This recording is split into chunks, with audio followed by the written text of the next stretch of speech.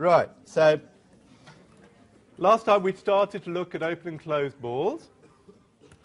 And uh, we were looking at bounded sets. And uh, let me see, what do we have? We were looking at uh, what does it mean for a set to be bounded? And then we had that open or closed balls centered on the origin were bounded.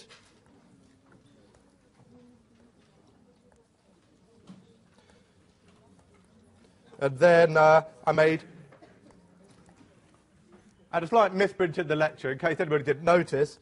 For some reason or other, I kept losing the bars for the top of some of my closed balls, which turns them into open balls if you forget the bars on top. Uh, it doesn't affect the proof very much, but there are a couple of places where I still managed to leave a bar off last time. So if you got your notes from last time, I was trying to show that the closed ball with radius little r was bounded, but I kept missing the bar off the top, which meant that my proof was showing that the, the proof without the bars on the top shows that the open ball with radius little r is bounded. Fortunately, the same proof happens to work for the closed ball as well, but uh, I guess that means you've got two proofs for the price of one. But if you want actually the proof of what I was trying to prove last time, you should put the bars back in where they were missing.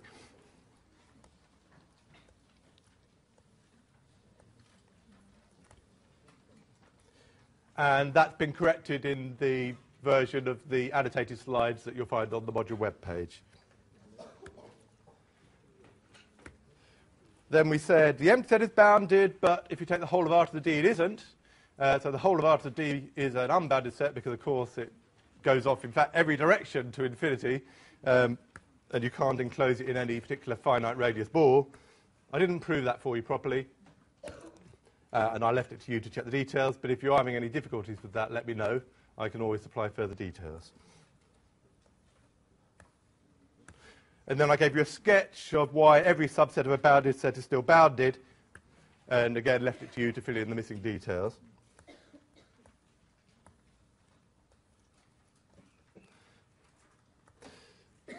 We had some comments about one-dimensional bounded sets and the connection with bounded above and bounded below from last year.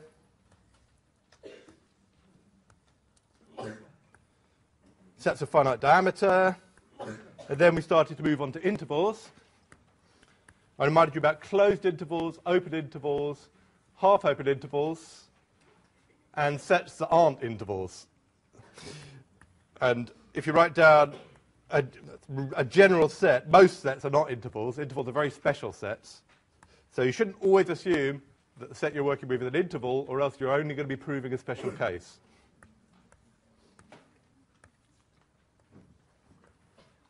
And then we wanted to move into higher dimensions. So I told you that we're going to do Cartesian products and Cartesian products, if you remember, have nothing to do with multiplication of real numbers. It's simply about saying that you're going to restrict each coordinate separately. And you're going to say in which set is the first coordinate going to be, in which set is the second coordinate going to be, and so on, up to the d-th coordinate. And so you have the Cartesian product notation, a product of intervals. That means you state separately which interval each of your coordinates is going to be stuck in. So the first coordinate gets stuck in the first interval, and so on, up to the d-th coordinate is going to be stuck in the d-th interval, and that will give you a Cartesian product of intervals. So that gave us what we call D cells, which some authors call intervals. You can figure them as hypercuboids. And we had an open D cell, and we had closed D cells, and then lots of different possible combinations. So Let's see what sort of sets we have. Let's look in two dimensions where it's easiest to draw the pictures. If you go to three dimensions, you're going to want uh, three-dimensional cuboids, and if you go into four dimensions or higher, it's going to be particularly hard to draw the pictures. So two dimensions is the easiest one to draw examples. And so when you take a product of two intervals, as we saw earlier, you get some sort of rectangle. But depending on which kind of intervals you product with each other will tell you which edges, if any, are missing and which edges, if any, are included. So some of the edges may be included, some of them may be excluded. You'll have to work out for yourself what happens at the corners. So the closed cell 1, 2 cross 1, 2, that's not just a rectangle, it's a special kind of rectangle, namely a square. And I again apologise for any distortion in the scale due to the fact that I'm working on a widescreen screen.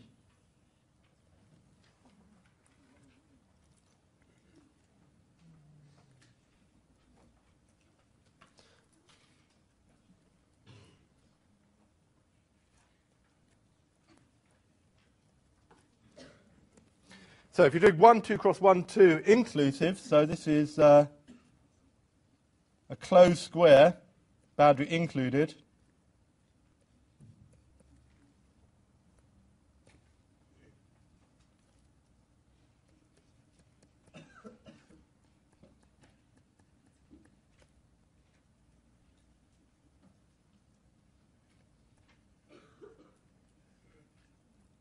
Where if you do the uh, open two cell, you're going to do boundary excluded. So we just did that one. Now we'll look at the product of two open intervals, which is pretty much the same picture.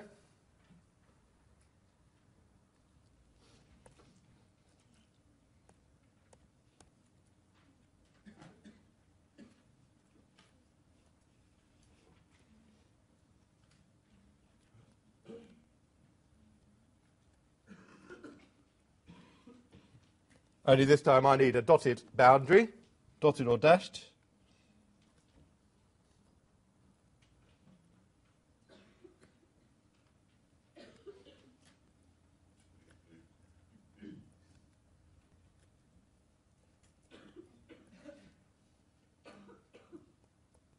So this time it's the product of two open intervals.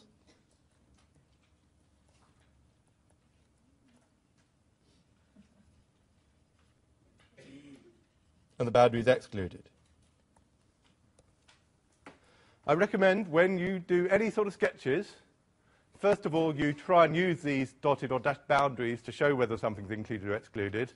But just to play it safe, that you also uh, include some, some writing as well, so that there's no possibility of anybody misunderstanding what's going on.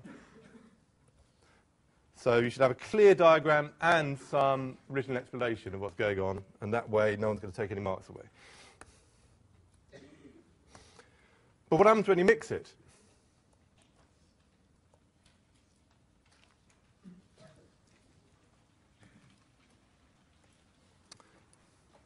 Let me do something that's a rectangle. Well, okay, we're still doing 1, 2 cross 1, 2, but we'll do a different one. Let's do... Uh,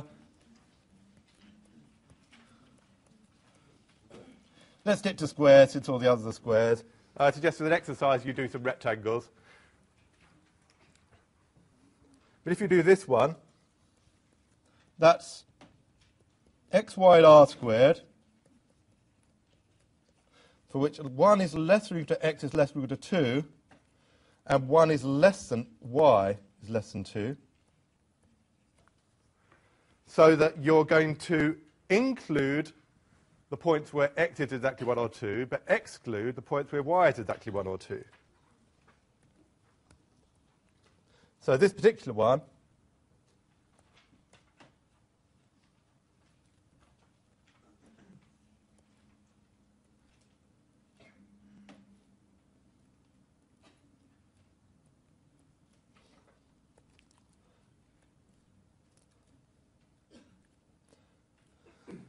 So when x is 1 or 2, you're going to get the whole edge in, with the possible exception of the corners. But when y is 1 or 2, that edge is excluded. And you can work out for yourself whether the corners are in or out.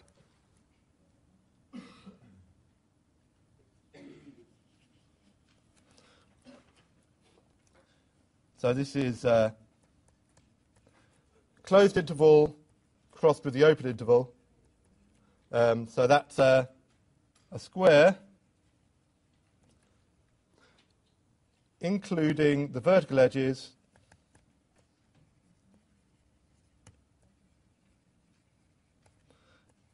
excluding the horizontal edges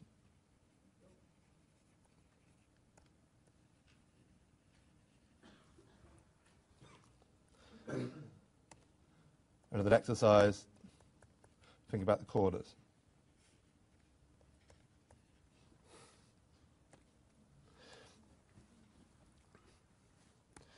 And I said, there are 14 others. Well, how can you work out how many there are? Well, it's a product of two intervals. And as we know, there are four kinds of bounded interval. So there are four types of interval that you could have for the x-coordinate to be stuck in, and four kinds of interval that the y-coordinate can be stuck in. So that gives you a total of 4 times 4 16 possible kinds of square or rectangle you could be looking at. Now, two of those are we've listed already. It's the, the closed one, which includes all the edges, and the open one, which excludes all the edges.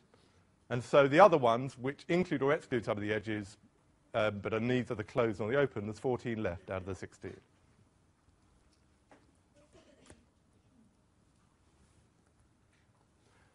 Anybody got any questions for me on uh, these various different kinds of square or rectangle? Well, if you do come up with any questions, remember uh, you're welcome to email me or drop in in office hours, or you can ask me after the lecture. Um, I'm always happy to answer questions. Now, so the 16 kinds in two dimensions of these bounded interval or bounded D cell. Go to three dimensions, then you've got 4 times 4 times 4. So that's 4 cubed, or 2 to the 6. And if you move up to D dimensions, then um, it's 4 to the d, or 2 to the 2d.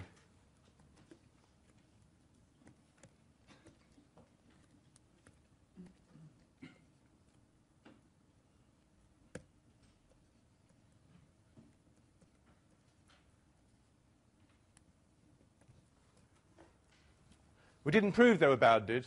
Uh, again, you can, you can check that for yourself, or you can do it from stuff on the question sheets, or if it's not obvious to you that they're bounded, then I can always give you some more details. Have a look at what you get for the question sheets because you'll have enough, by the time you look at the question sheets, you'll have more information.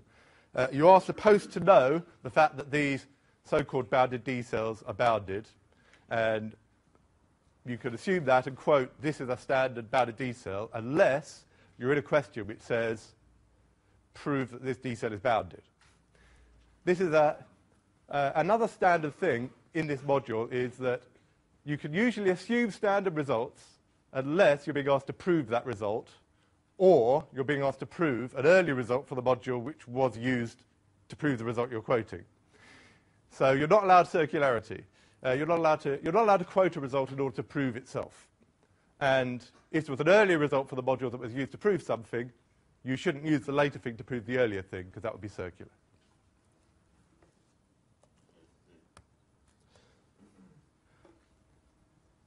I do remember that the, there was an exam I set a few years ago where I asked people to prove certain things about the algebra of limits, and everybody, no, not everybody, but a large number of people, when asked to prove things about the algebra of limits, said, by the algebra of limits, this holds.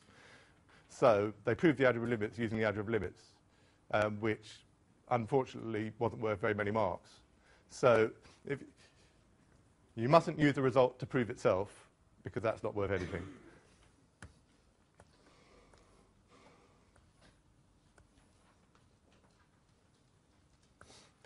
So we finish off this chapter with a brief discussion of unbounded D cells.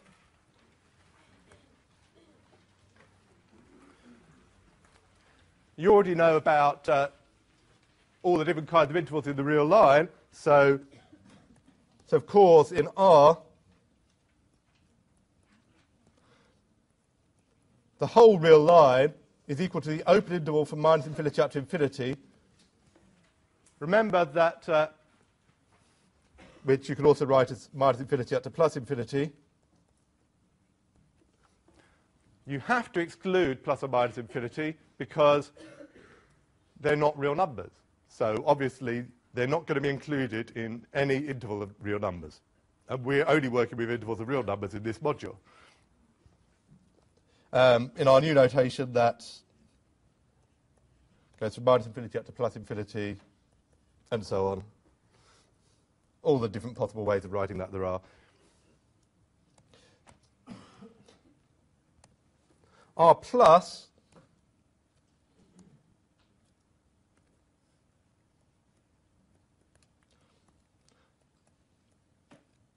You can write that as naught infinity or naught infinity. Either way, with, with either kind of excluding infinity, but for us, R plus includes zero, remember? So that's a non-negative real numbers.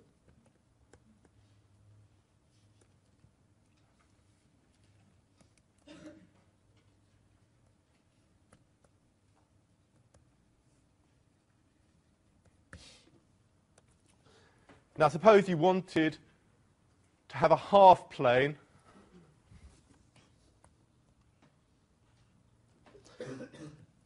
Let's suppose you wanted to get the right-hand half plane including the y-axis.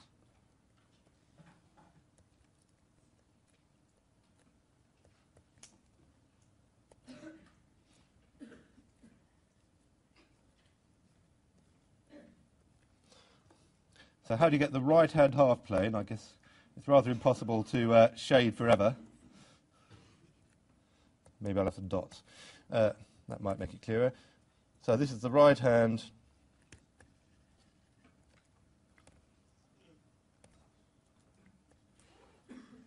half plane. This is some sort of unbounded D cell. Uh, if, you if you include the y-axis,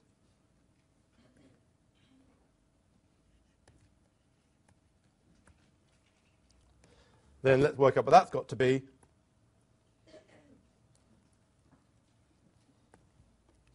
This is the set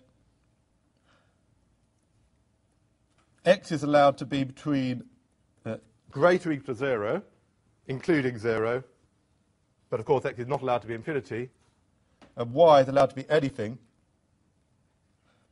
except it's excluding plus or minus infinity. So we'll go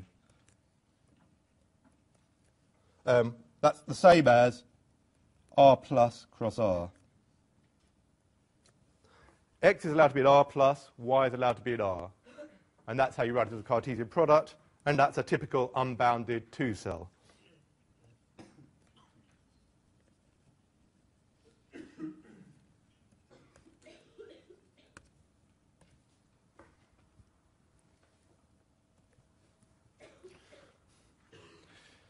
And again, one way to see it's unbounded is because you can go off to infinity either along the positive real axis, or indeed, in this case, you can go up, the y, up or down the y-axis. If you'd excluded the y-axis, you wouldn't have been allowed to use the y-axis as, to show it was uh, unbounded. But the x-axis is safe enough. Yeah.